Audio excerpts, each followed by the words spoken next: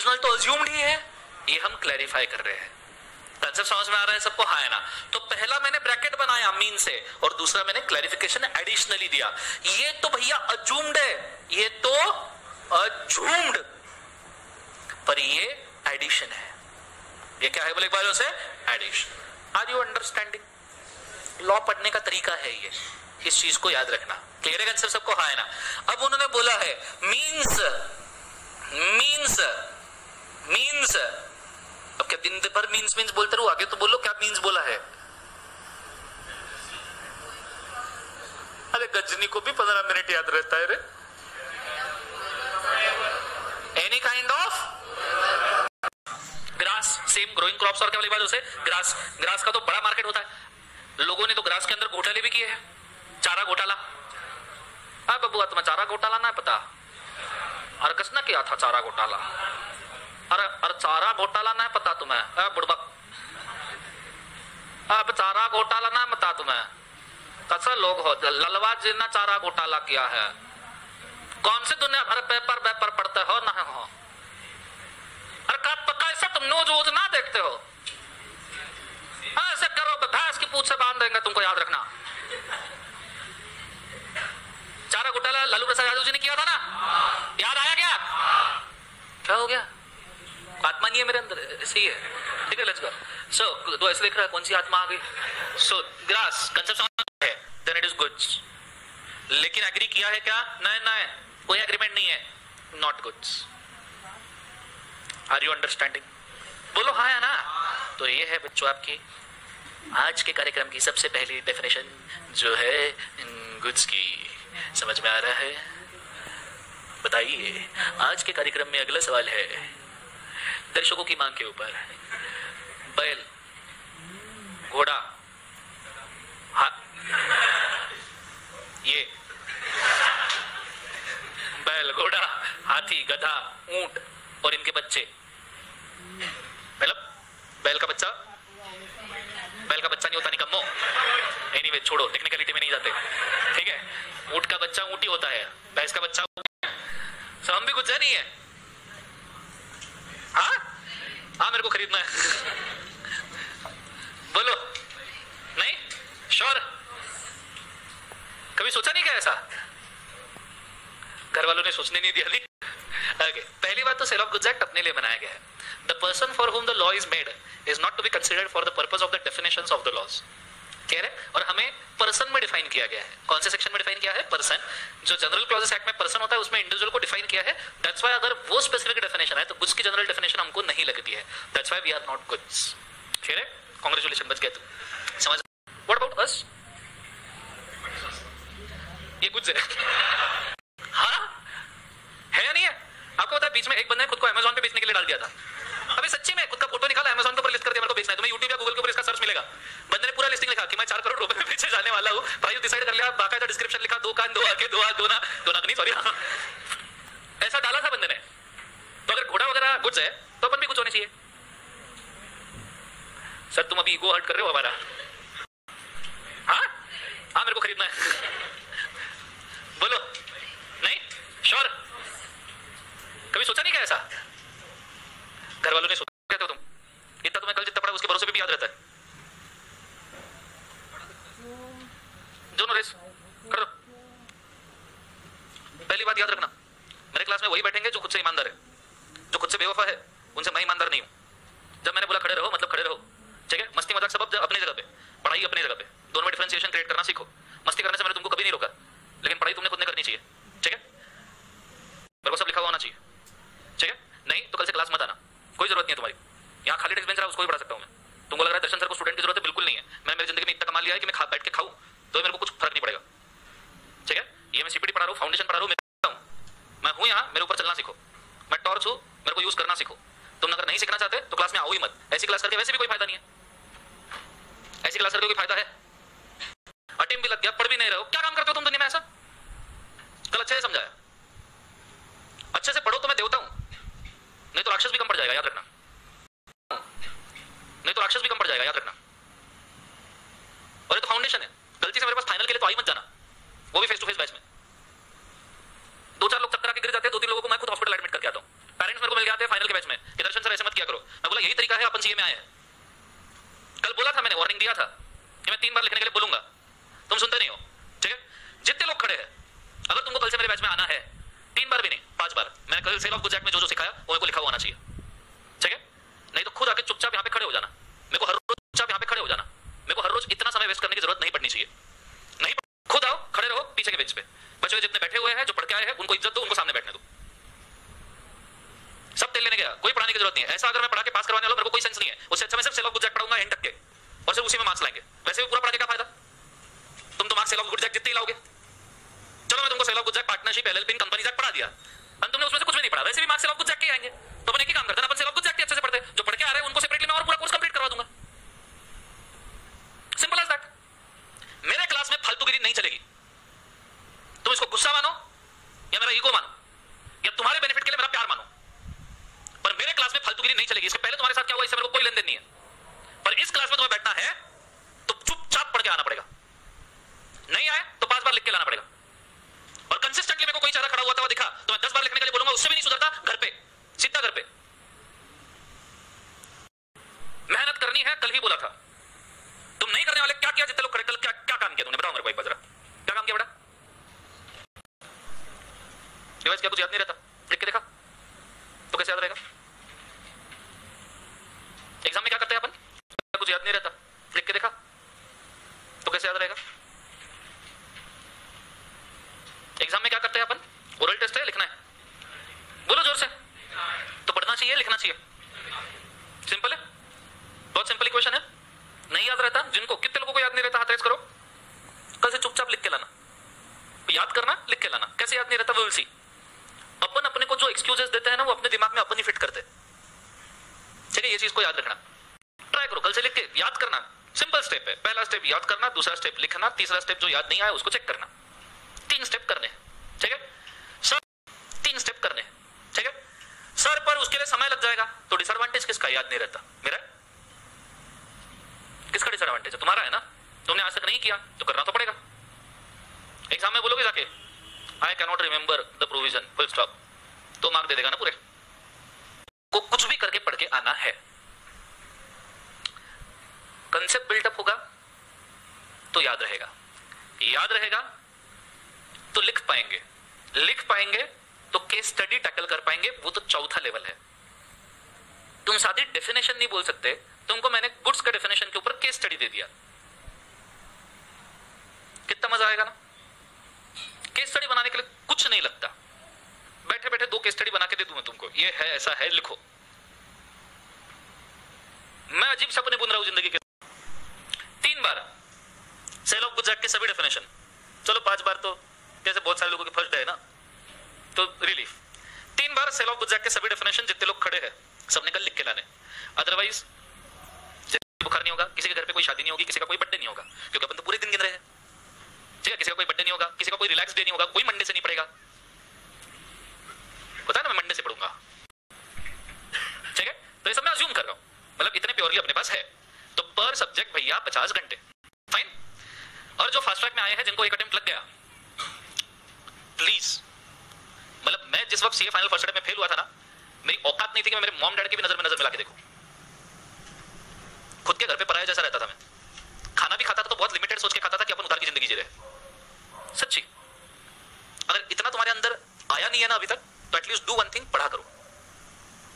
मेरे को तो पढ़ना पड़ा ही। अभी भी आँखें नहीं खुली तो इससे बड़ा एक्सपीरियंस तुमको दुनिया में और लगेगा क्या, आँखें खोलने के लिए? हास्टैग वाले बच्चे अगर खड़े हैं ना इट्स अभी अगर तुमको टेंशन नहीं आया हो तो रिज़ल्ट में लिख के दे देता हूँ। लेकिन टेंशन आया हो तो थोड़ी सी होप है। ठीक है? आपके पास चार ऑप्शन है। भाई रोजा के पास जाएगा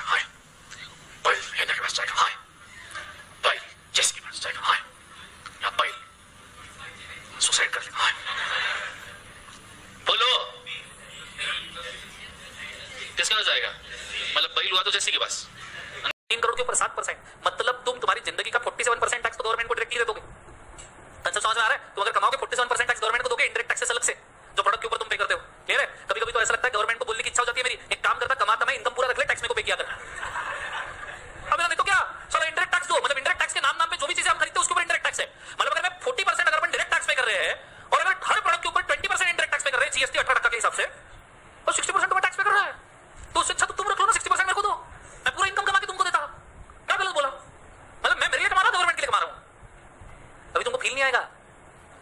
आएगा जब जीप से दिना मुन्नू समझ में आ रहा देखो कैसे चेहरा खिलखिलाया तुम्हारा है मेरे प्यारे देशवासियों मुझे बताओ कि यहाँ क्या हो इसको यहाँ सागा को? कंपनसेशन मिलना चाहिए, नहीं मिलना चाहिए? मिलना चाहिए, नहीं मिलना चाहिए? मिलना चाहिए, नहीं मिलना चाहिए? ये एक ऐसा केस है, जो तुम्हारे लॉजिक के अपोजिट जाता है। अंक्या को सागा को यहाँ पे कंपनसेशन देना पड़ेगा, क्योंकि कॉन्ट्रैक्ट करते वक्त अंक्या ने सागा की अटेंशन पीटीओ लिख के कंडीशन के ऊपर अट्रैक्ट ही नहीं की थी।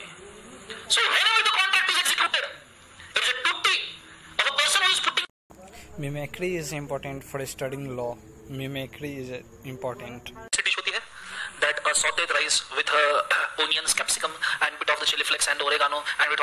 simple as that फुटनी का भात समझ में आ रहा है सबको हाई इंटरनेशनल वर्जन सुनेंगे नहीं है floor popped up balls in which the mint and cinnamon water added with some kind of mashed potatoes and few of that grains which is to be tossed with few amount of the onion and uh, save को तो अपने को English version नहीं मालूम ना so few kind of the uh, flour meals uh, fried in a very crispy way etc पानी पूरी समझ में आ रहा है सबको consequence from the history कुछ एग्जांपल और देता हूँ जो सिचुएशन से बने हैं भोपाल गैस ट्रेजेडी सुना है आपने भोपाल गैस ट्रेजेडी नहीं सुना नहीं सुना ओके okay, आ जाओ तुमको पहले केस दिखा देता हूँ फिर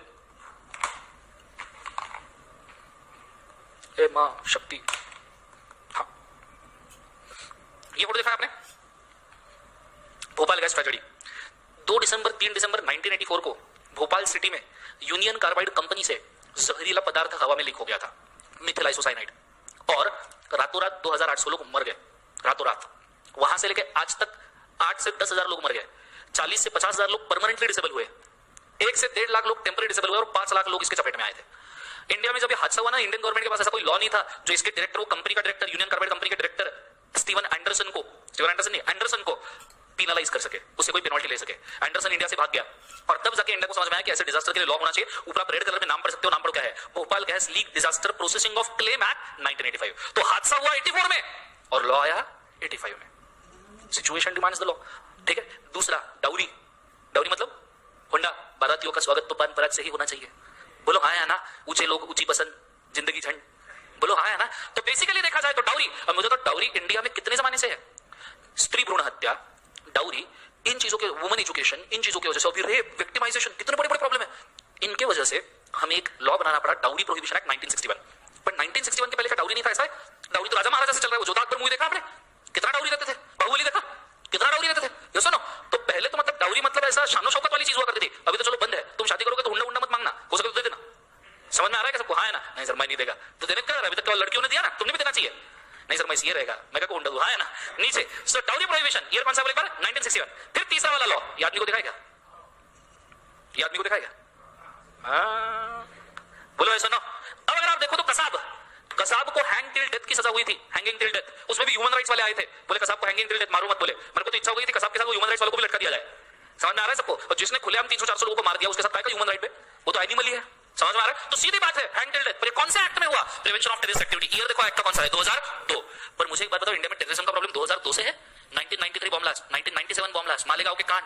ये कितने दिनों से चल रहे हैं क्लियर है सर तो इंडिया में टेररिज्म बहुत पहले से लॉ तो बाद में बना। और 2002 में ही क्यों बना? इसके पीछे रीजन है। इंडिया में पता है प्रिवेंशन ऑफ़ टेररिस्ट एक्ट पहले लॉ था, टाडा। ये नीचे नाम लिखा है उसका, देखो। Terrorism ordinance prevention of terrorism ordinance code और उसके नीचे terrorist and disruptive activities act TADA. दिख रहा है सबको? सुनो तो ये लॉ इंडिया में पहले था। गवर्नमेंट ऑफ़ इंडिया के पीछे लोग चिल्ला चिल्ला के परेशान हो गए। अबे लॉ बदलो, थोड़ा सीवियर बनाओ। इन टेररिस्ट को फांसी पे चढ़ाओ। उन्होंने लॉ बदला नहीं। फिर 2001 में पार्लियामेंट पे अटैक हो गया। वो हुआ था पार्लियामेंट में अटैक हुआ 2001 में। पार्लियामेंट वालों की फटके हाथ में आ गई। अरे बोले, यहाँ तक पहुँच गया। अब लॉ बदलना ही पड़ता। तो 2002 में उन्होंने टेररिज्म वाला लॉ बनाया। तो सिचुएशन डिमांड्स द लॉ जब तक अपने पार्लियामेंट के पास बोले बाप रे। तब इनको लॉ बनाने की ज़रूरत पड़ गई। कंसेप्ट समझ में आ रहा है? तो बड़ा लॉ एवे ही नहीं बनाया जाता। सिचुएशन लॉ को डिमांड करती है। पार्लियामेंट के लोगों के पास समय नहीं है। खाली नहीं बैठे कि चलो भाई दो चार लॉ बना देते हैं फाउंडेशन के बच्चों को टॉर्चर कर देते हैं। नहीं मिला 1947 में। सेवेंटी सेवेंटी बोलो हाँ आया रूल किया आज़ादी। से। वंदे। भारत माता की। इनकल सोजा वाला एक्ट पार्टनरशिप वाला एक्ट ये एग्जांपल है इसके कि भाई अंग्रेज़ हमको बना के देखे गए। चलो ये वाले एरा के भी लॉ में को समझ में आते ग्रीन वाले लॉज जो हमने खुद ने बनाए। जैसे हम बोले पेमेंट ऑफ़ बोनस एक्ट ठीक है? फिर अगर हम बोले कंपनीज़ एक्ट फिर हम बोले एलएलपी एक्ट चलो ये हमने बनाया। What about this one constitution India की लॉ सिस्टम लॉ पढ़ रहे हैं ना तो इज़्ज़त से पढ़ना, पूरा का पूरा। स्टार्टिंग से लेके एंड तक। सब लोग किसने बनाया? कोई तुम्हारी गलती नहीं फाइनल के बच्चे भी आंसर नहीं दे पाते, ठीक है? लेकिन क्योंकि उनको कभी फाउंडेशन पे किसी ने बताया ही नहीं।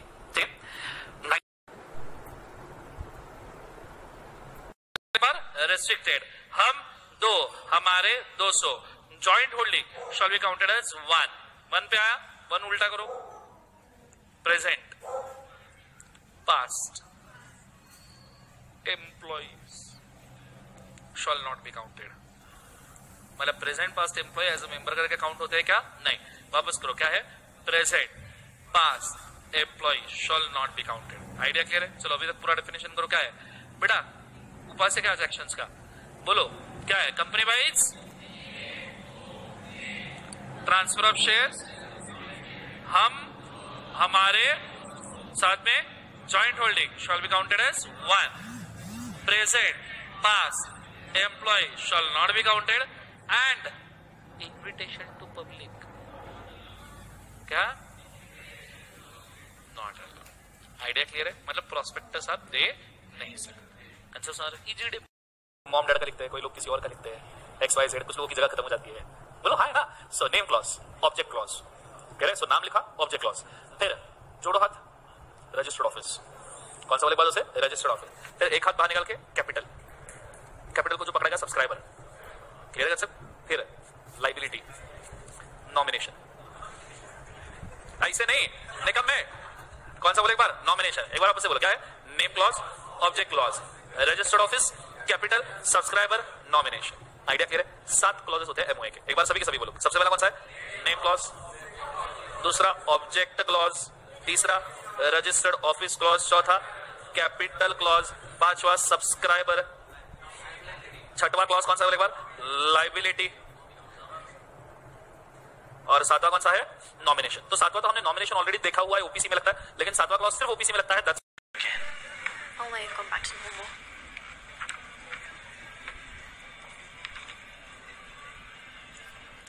wrong with your hand? Nothing. Your other hand. You've got to tell Dumbledore. No.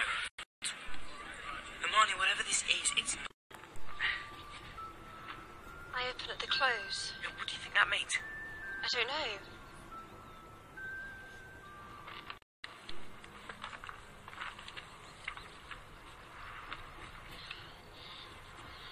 At first I thought it was an eye, but now I don't think it is. It isn't a rune. And it isn't anywhere in Spellman's syllabary. Somebody inked it in. It isn't part of the book, somebody drew it. Luna's dad.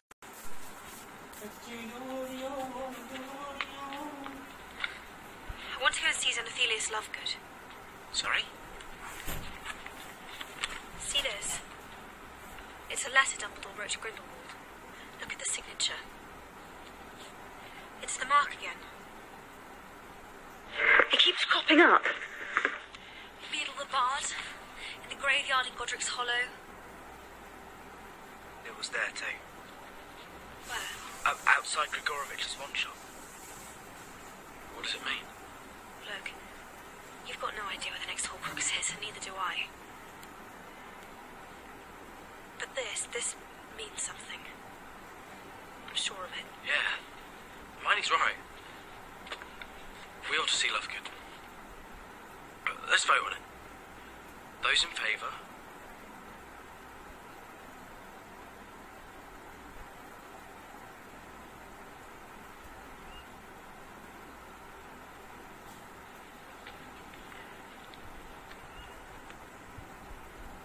No.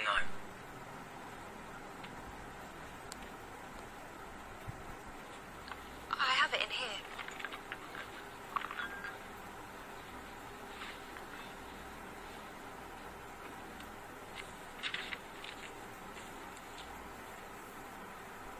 There were once three brothers who were travelling along a lonely, winding road at twilight. Midnight. Mum always said midnight.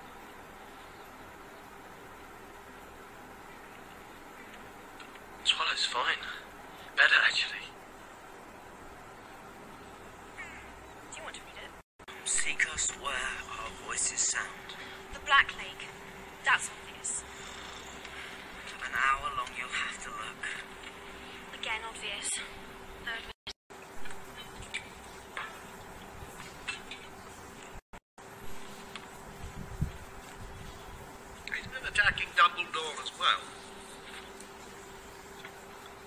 Sanchez using all his power, including his influence of the Daily Prophet, to smear anyone who claims the Dark Lord has returned. Granger, sir. That one there is Varys.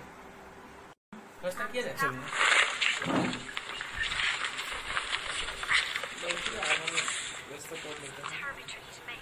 This is Amortentia. The most powerful love potion in the world. 2009. 2009. This is what I offer each of you today.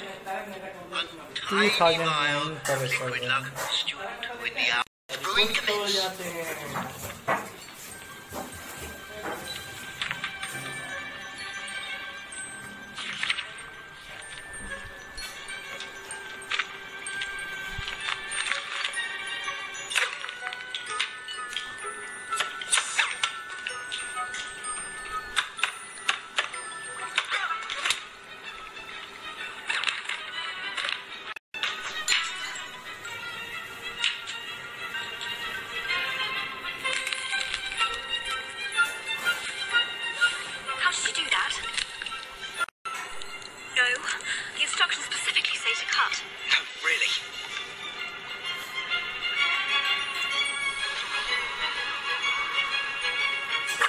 2009